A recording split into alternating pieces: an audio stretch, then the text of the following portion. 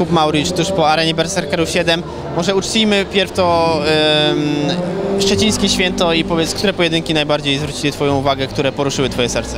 No myślę, że tutaj typowo kulka i sztanga zrobili największą robotę, bardzo spektakularne walki, także naprawdę gratulacje dla obu panów, naprawdę trzymaliśmy kciuki i w zasadzie nie trwało to długo, jak to zwycięstwo zostało osiągnięte, także naprawdę świetnie, owacje na stojąco. Oczywiście Maciej Różański, walka pełna dramatów, Jasne. y, Piotr Danelski, sporo emocji, co widzieliśmy, ale okej, właśnie, y, można powiedzieć tak, że przedstawię Cię osobom, bo oczywiście są osoby, które znają Ciebie doskonale jako dietetyka, to tak się poprawnie wymawia, to nie jest obraźliwe, Nie, dietetyk? absolutnie, myślę, że jest jak najbardziej okej. Okej, e, więc e, których zawodników w Polsce, którymi, którym pomagasz tak naprawdę w, w robieniu wagi, w suplementacji, jakkolwiek to nazwać, którym? No jest tych zawodników troszeczkę. Zacznijmy od Asi Jędrzejczyk, za którą też trzymamy kciuki, ponieważ będzie miała za chwilę już swoją wielką walkę w UFC. E, Jest Paweł Kiełek, jest Aslan Beksajdow, jest Mamet Kalidow, e, Michał Materla, Maciek Jewtuszko, e, Piotrek Strus. E, no i teraz jeszcze w zasadzie można powiedzieć taka była częściowa opieka nad Mateuszem Piskorzem, e, nad Sylwkiem e, z Archionu, no i też tutaj możemy powiedzieć chociażby o, e, o Żyrafie, tak? A więc Tomek Narkun. E, no naprawdę jest troszeczkę tych ludzi, naprawdę bardzo fajni zawodnicy, fajna współpraca, ciekawie się tutaj e, układa takie biznesy. Joanna Jędrzejczyk, bardzo wdzięczny temat. Dzisiaj o 6 rano walczy o pas, o historyczny pas. Wielka szansa dla polskiego MMA. Jakim cudem udało Wam się zrobić to, to co zrobiliście, czyli zejść kategorię wagową niżej, bo wcześniej jakby nie było o tym mowy, tak? Tak. Póki nie była w UFC. Tak, dokładnie. E, przyznam się szczerze, że no tutaj e, duża doza metodyki wchodzi. Tak jak Asia powiedziała w jednym z pierwszych wywiadów, myślała, że będzie musiała sobie obciąć rękę, żeby uzyskać te 52 kg.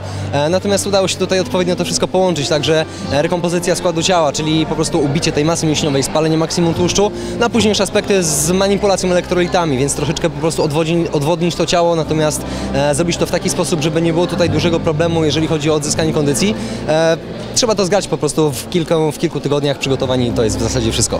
Ja tak obserwuję polską scenę MMA również od tej strony za kulisami. Czy ty jesteś przerażony y, tym, jak niektórzy zawodnicy podchodzą właśnie do, do, do tej sfery, którą ty się zajmujesz i sposób, w jaki na przykład zbijają wagę? Szczerze, niestety tak. E, tutaj nie jest zbyt dobrze, jeżeli chodzi o większość przygotowań, to wielu zawodników niestety ten off-season, ten okres pozastartowy traktuje jako po prostu wielką biesiadę, zjadają co chcą, nie zwracają uwagi na to, jakie parametry we krwi mogą poprawić. E, natomiast później zbijanie wagi, no to też jest takie na miesiąc przed, bardzo często dieta gdzieś tam 800 tysiąc kilokalorii, jeden worek ryżu plus góra warzyw na cały dzień, chodzą wkurzeni i w zasadzie no odbija się to później, odbija się to później strasznie na ich zdrowiu, a więc forma tutaj jest no trochę gorsza. E, na- natomiast gdyby to Przepraszam, faktycznie... że wejdę. Michał Materla Jasne. chodzi wściekły zawsze przed walką, a się zajmujesz jego karierą. Oj nie, powiedziałbym, że nie. Tutaj akurat właśnie może tego... A może ja tak. Być może, jego nastawienie może być takie, natomiast e, jeżeli chodzi o samopoczucie, to odkąd rozpoczęliśmy tą współpracę, to e, zawsze mówię właśnie, że i zbijanie wagi nie szło nigdy tak gładko, jak również teraz. Właśnie jesteśmy w stałym kontakcie z Michałem, bo już tutaj powoli rozpoczynamy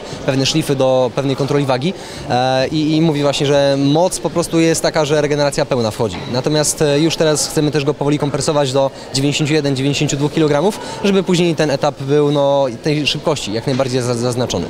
Jestem e, oczywiście zdania, że informacja, wiedza jak najbardziej to jest potęga, to tak naprawdę na, nakręca cały świat. Natomiast pasja jest też bardzo ważna i z tego co ja wiem, z tego co usłyszałem, ty nie masz typowo wykształcenia w, e, w, kierunku, w kierunku właśnie dietetyki. dietetyki. To źle słyszałeś, bo akurat tak, jeżeli chodzi o moje wykształcenie, Przepraszam, nie ma problemu.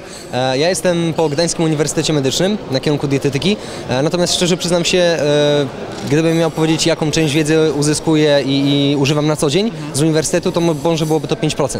Niestety no, nasz system edukacyjny jest taki, a nie inny i jeżeli ktoś właśnie mówi, że wow, Kuba, ale robisz super diety i tak dalej, to nie jest zasługa uczelni, tylko to jest zasługa pracy własnej, wieczne, wiecznego dokształcania się i tak dalej. E, Gdybym miał robić to w taki sposób jak inni dietetycy, no to na pewno ten efekt nie byłby taki spektakularny. Tyle mogę powiedzieć. Jest takie powiedzenie, zwłaszcza w Stanach Zjednoczonych, e, że dostajesz to, za co płacisz. Czy ty e, w świecie dietetyków jesteś osobą, która się ceni mocno? Zależy o co pytasz. E, jeżeli chodzi o to, czy cenię swoją wiedzę, to jak najbardziej. Natomiast jeżeli chodzi o kursy, które oferujemy, czy coś, to uważam, że jest to cena jak najbardziej przystępna. E, nie, nie, że tak Nie powiem. musisz zdrowie, że nie, Jasne, nie ma nie, problemu. wymagam szczegółów. Chodziło mi bardziej właśnie o, o, o te realia, czy zawodników stać na to. Mm, I na koniec, rozmawialiśmy wstępnie e, telefonicznie o, o ABC Fightera. ABC Fightera. Powiedzmy, nazwa może być jakakolwiek Jasne. jeszcze, natomiast masz już na to jakiś pomysł, będziemy robili, na pewno będzie to po prostu porada takie tips and tricks dla Dokładnie. zawodników. Ja jestem jak najbardziej zdecydowany, także już niebawem będzie można obejrzeć sobie kilka filmików z naszym udziałem. A możesz zdradzić coś więcej? Masz jakieś pomysły wstępne na to? Jasne. Będziemy omawiali chociażby przygotowanie żywieniowe, na jakich aspektach się tutaj skupić, e, jak zapewnić sobie minimalizowanie kontuzji, e, jak się suplementować, jakimi składnikami e, i chociażby o to, jak prowadzić końcowe odwodnienie. Super. Jestem podekscytowany i nie mogę się doczekać. Jak Fajnie. tylko wrócę do domu, skontaktuję się natychmiast. Super. Dzięki Dziękuję. bardzo. Pozdrawiam całą moją ekipę fighterów. Do usłyszenia. I trzymamy e, za, kciuki za Asię. Za się. Dzięki bardzo. Dziękuję.